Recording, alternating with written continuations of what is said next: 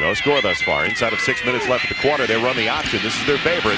They go wide, and they get the first down. Kenyatta Jones into the secondary, may go the distance. Jones is on his way. It is going to be a 90-yard run for a touchdown, and North Alabama takes the lead.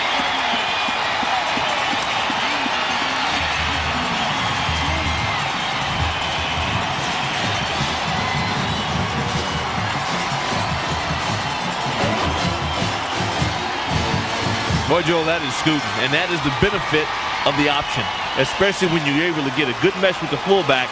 Twice they went inside to the fullback, and then on the third one, they lowered the boom. Tight end, Jarius Hayes tried to come over and give him a little chip, a little blocking. He figured that better not. No. He's on his Yeah, way. No, he's got it. Whenever you got a defensive lineman chasing the back, chances are you win that one. That makes up for the fumble. Jamie Stoddard in for the extra point try. That is the third longest run in North Alabama history.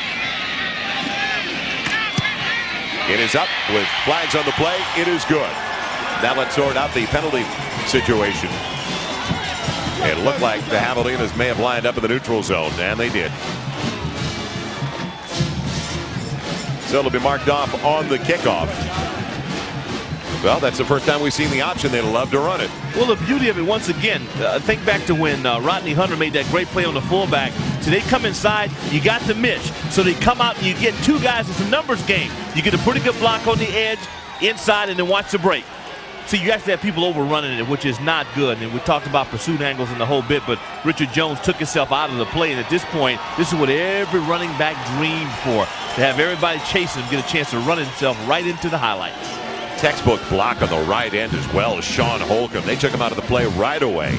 You talk about breaking the containment, getting that in. For those of you on E ESPN 1, this is the only score of the game. And it was a good one, too. You look at the option on this. This is what makes him so successful. Kenyatta Jones scampers. He gets a couple of blocks on the edge, and there's no holding him back.